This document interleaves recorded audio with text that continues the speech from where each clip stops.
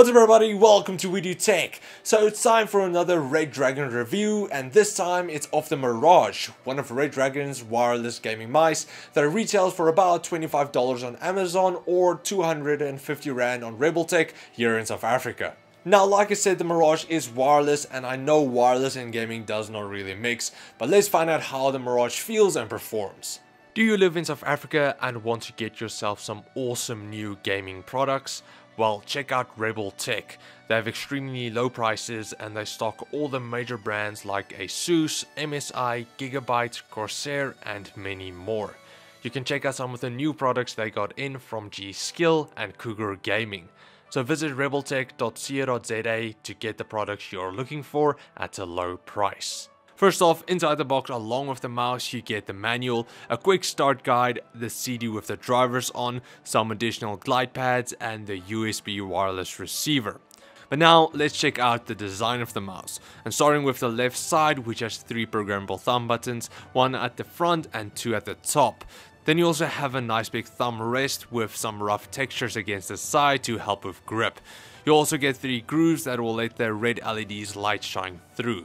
Moving on to the right side which has the same rough textured grip on the side and the three grooves for the LED lights. But now at the front of the Mirage on the right side where you would rest your ring finger it just has a sudden drop which did make it a bit uncomfortable to me. They could have made it that it just has a bit of a curve so there's actually some place to comfortably rest your ring finger. But luckily my pinky was fine. Moving on to the left and right mouse buttons, which does need a tiny bit more pressure to press compared to a standard mouse.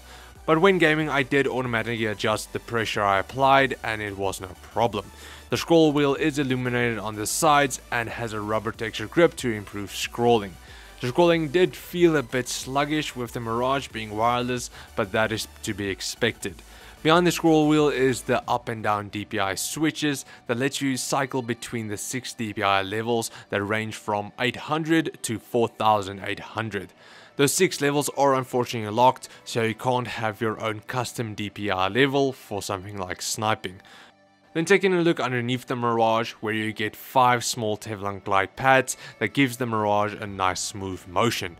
You also get the optical sensor, a bay for the single AA battery which was not included unfortunately, the slot for the USB wireless receiver and the on, off and eco switch. Now on and off is self-explanatory, but what Eco does is it turns the mouse off after a few minutes when not using it to save battery life. There's no clear indicator on how long the batteries will last, but it's probably going to be a few months on a standard battery. But moving on to the software which lets you assign different commands to each of the 8 buttons.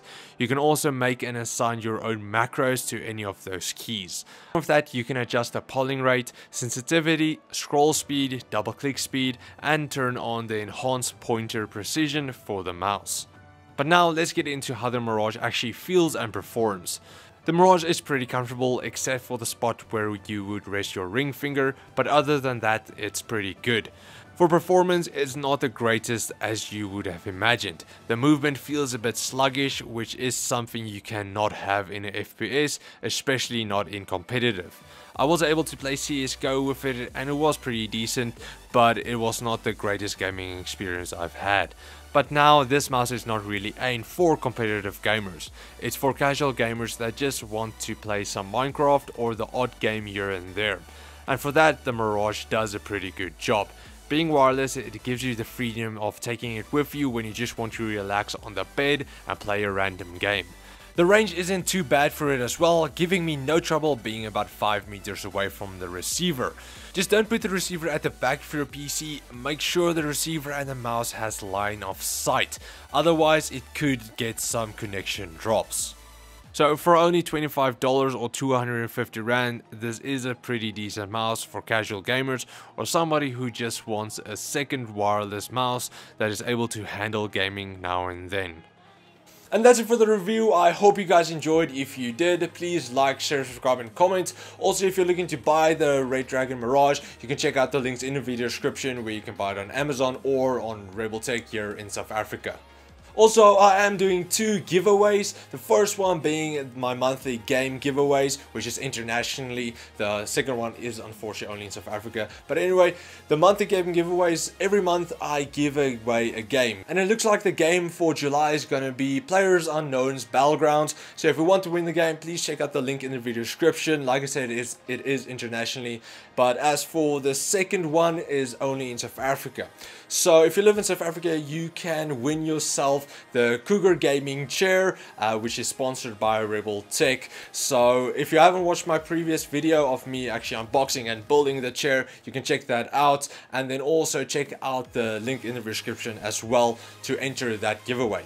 So like I said, it's only in South Africa unfortunately because it's such a big item. It's really heavy. It's about 25 kilograms. So I can't really ship that. It's almost going to cost more than the chair on its own. So it's only for South Africa. Um, and like I said, again, it's sponsored by Rebel Tech. So big thanks to them.